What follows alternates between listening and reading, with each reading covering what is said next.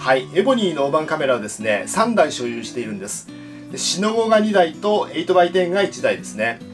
今日はですねこのエボニーのシノゴカメラについてお話をしていきます。大判カメラで写真を撮るようになったのは今から35年前写真家として駆け出しの頃なんです。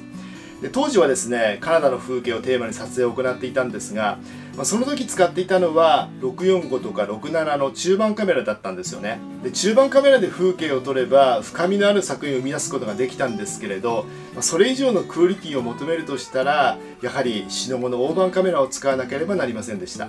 でそこで僕はですね思い切ってシノゴを購入することに決めてある日カメラの量販店に足を運んだんです。シノゴの大判カメラを作ってるメーカーはリンホフ、ジナ、ディアドルフ、ホースマン、ウィスタ、エボニー、タチアラと、まあいろいろあったんですけれど、まあ、その中で選んだのがこのエボニーだったんですよ。機能性を重視したシンプルな作りなので大判カメラ初心者の僕にもですねすぐに使いこなせるような気がしたというのがね一番の理由なんですけれど何よりこのクラシックカメラのような懐かしいデザインにぐっと引き込まれてしまったんですよねでその時量販店の店員さんがですねこのエボニーのカメラは大量生産品ではなくて職人さんたちが一つ一つ手作りで生み出しているということをね教えてくれたんです。でその一言がね購入の決め手になったということも事実です。当然カメラだけでは写真は撮れません。レンズも必要になってきます。当時大判カメラ用のレンズはですね日本製ではニコンと富士フィルムドイツ製ではシュナイダーとかローデンシュトックが作っていたんです。でも当然のことながらドイツ製のレンズは高くて手が出ません。そこでニコンのレンズを4本購入して、まあ、後に富士フィルムのレンズを含めて足りない焦点距離を増やしていったというわけなんです。で現在は6本のレンズを所有して撮影活動を続けています。エボニーは風景写真家坂梨博美氏によって設立された大判カメラ専門のメーカーなんです。東京板橋区にある小さな工房で、まあ、坂梨氏と数名のスタッフによってシノーとか 8x10 などの大型カメラが製造されているんです。エボニーの大判カメラの特徴はですねカメラ本体のこのフレームがですね黒炭つまりエボニーでできていることなんですよね。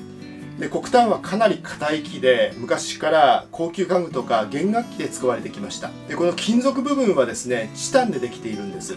つまり黒炭とチタンの組み合わせによって精度が高くて耐久性があるカメラとなって風景写真家フィールドで使うにはね最高のカメラだったんですよ。で現に僕自身もですね30年以上このエボニーのカメラを使って写真を撮っているんですが一度も故障したことはないですね。でメンテナンスが必要になったこともありません。驚くほどタフなカメラでまさに職人魂がこのカメラに注がれていると言っても過言ではないんです。エボニーの大判カメラの良さはですね写真界で徐々に広がっていって年々使う人も増えていきました。2000年に入ってからはですね海外でも大人気になってまあ、著名な風景写真家はですねこのエボニーのカメラをわざわざ日本から取り寄せて作品を生み出すようになっていったんですよね。で僕自身15年ほどこの1台のカメラで撮影を行っていたんですが、まあ、後にもう1台これ買い足しました。でその頃はですね社長の坂梨氏と知り合いになっていたので、まあ、購入時はですね板橋区の工房に足を運んでオーダーという形で大判カメラを制作してもらったんです。でこの2台はですね全く同じカメラに見えるんですが実は違うんですよね。で2番目に買った方はですねスイング煽りがなくてライズ煽りだけどシンプルな設計になっているんです。でスイング煽りというのはですねこの部分ですね。これがねこうやって動くんですよ。ほら。これがスイング煽りですね。そしてライズ煽りというのはですねこの上下の動きですね。これ。つまりねこっちのカメラにはスイングアオリがなくてこのライズ煽りだけになってるんですよ。建築写真ならまだしも風景写真においてスイング煽りを使うことってあんまりないんですよね。そこで思い切ってこのスイング煽りの機能をカットしてもらったというわけなんです。20代の頃によく足を運んでいたカナダにはですね 35mm とか645のカメラの他に必ずこのシノボの大判カメラも持っていくようにしていました。で代表作の何点かはですねこのシノゴカメラで生み出されているんですよね。で30代になって日本の風景をテーマにすると決めた時にですねこのシノゴの大判カメラを使うことにしました。後に出版した写真集「センス・オブ・ジャパン」セメントで発表した全ての作品はですねこのシノゴのカメラで撮影を行っているんです。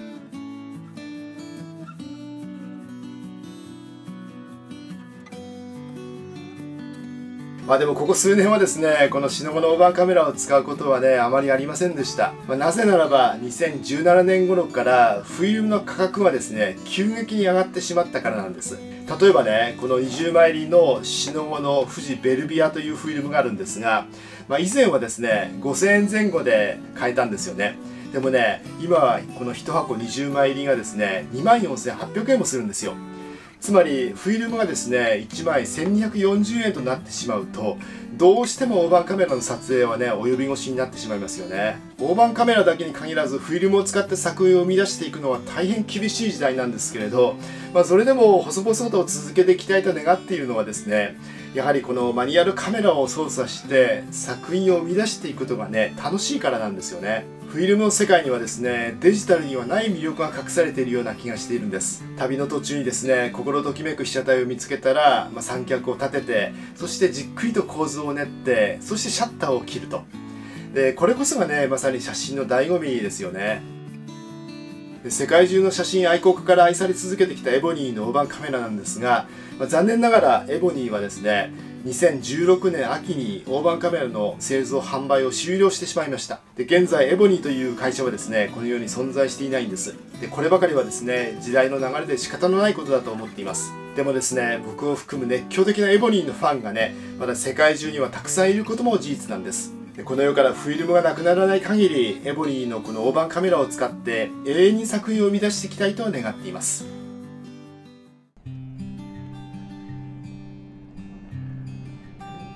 はい今日はですねこの松本城を取ります。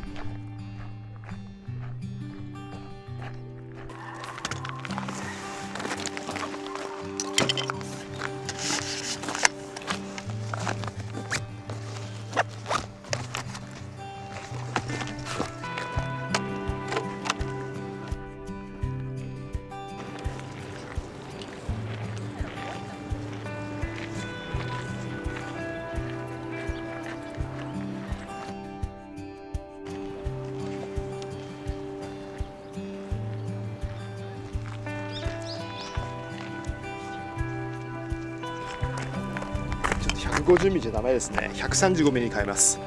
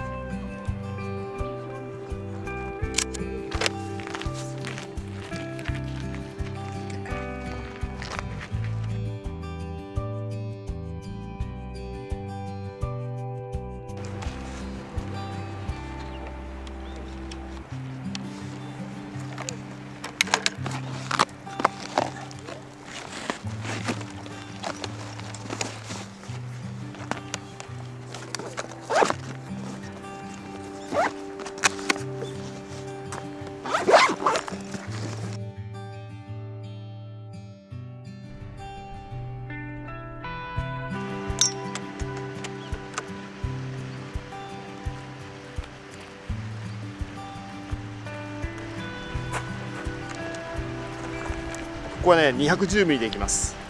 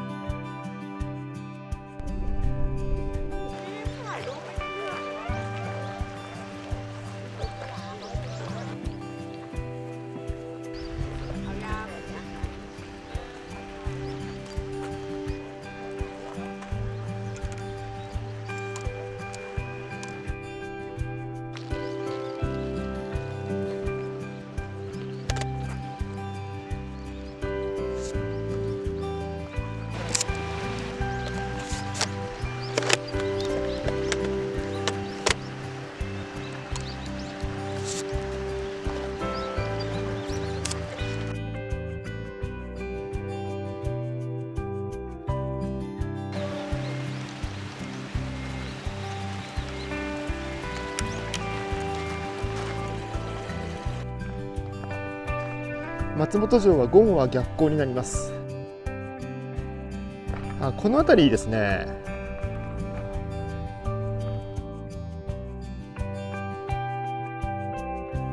ここは一つの候補ですね。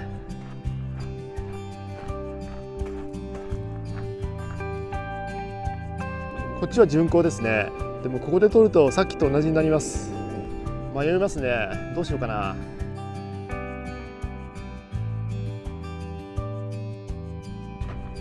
ここも面白そうですね。これと後ろを一緒に撮る。うんこれは面白いな。これ1枚撮ります。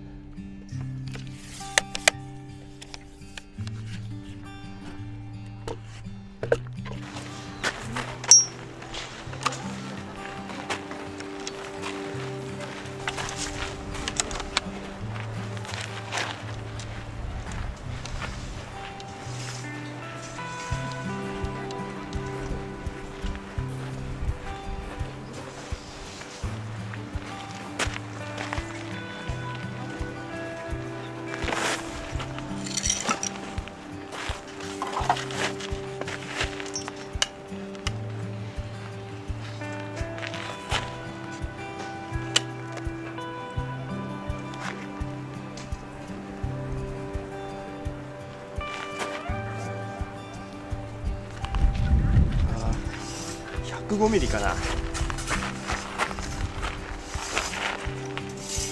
105ミリに切り替えてみます。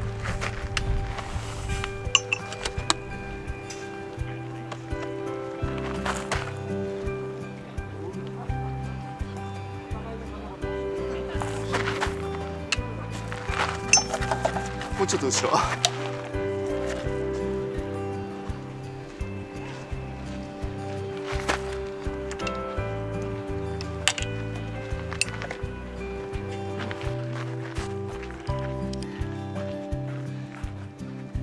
105ミリがちょうどいいですね。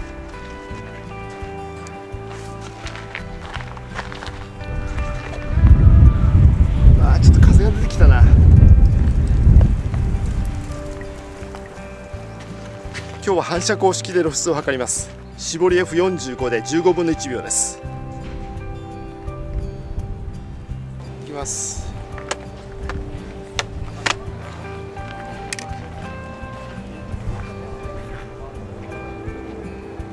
人が移動するまで待ちます。あ今チャンス。はい行きます。あまた来ちゃった。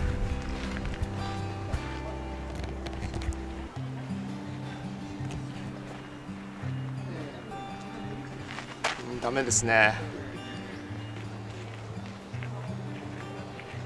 人がいても一向に構わないんですけれどこの被写体は人がいない方がいいです。けるかな？はい行きます。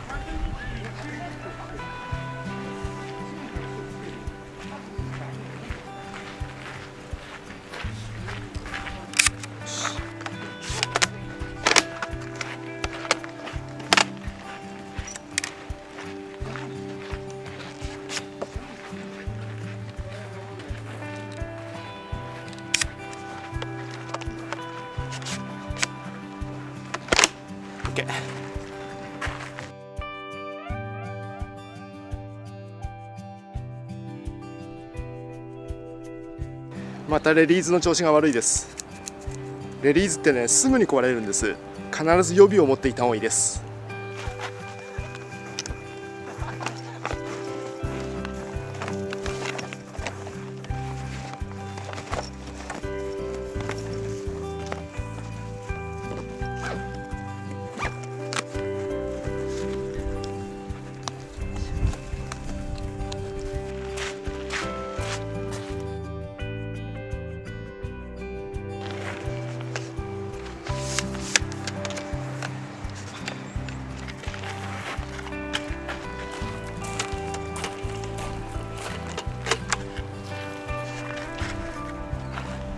150ミリ。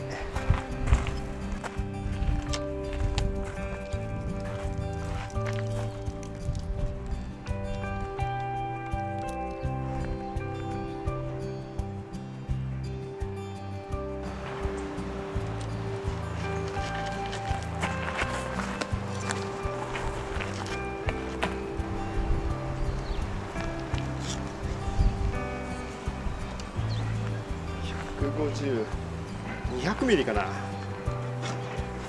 ちょっと200ミリつけてみます。210ミリ。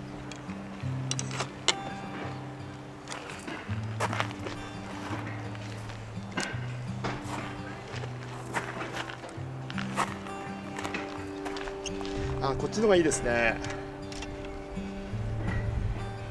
これでいきますか。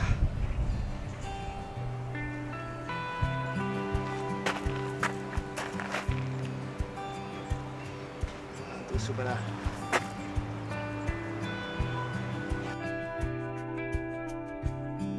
ちょっとダメかな。やっぱり150ミリ。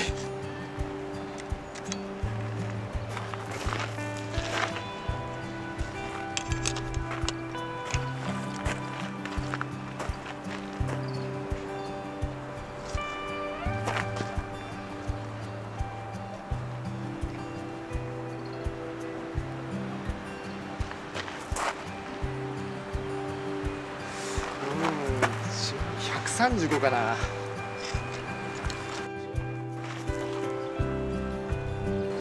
135ミリ。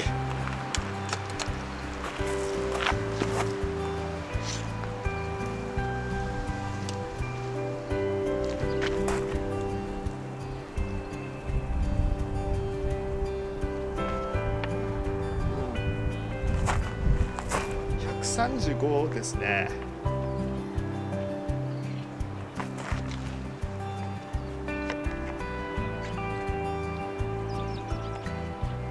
こ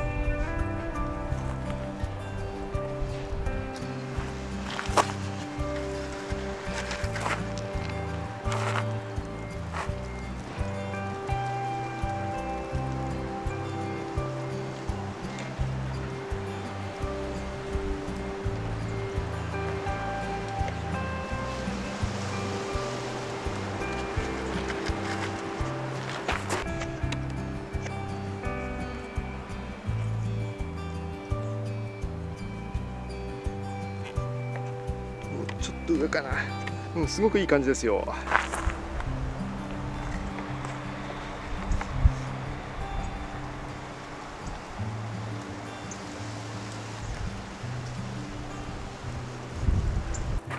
はい OK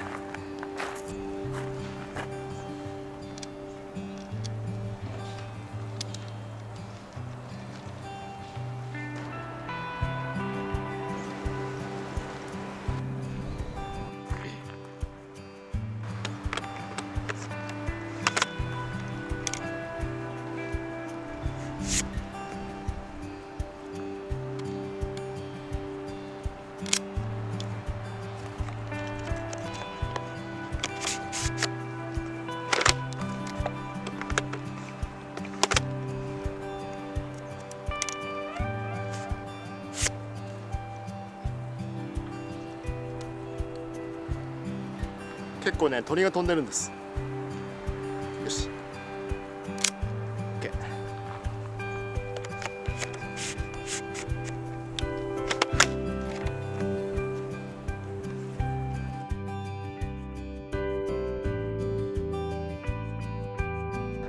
松本城今の時期すごくいいですよ。人が少なくて。